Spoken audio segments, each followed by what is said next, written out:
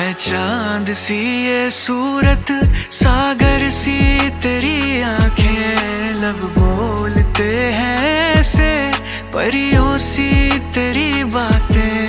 अब तू ही कर मुकम्मल, छाया है जो ये खुमार। ना कजरे की धार। तेरी राहों में मेरा जहाँ, के रंग लग गया इश्क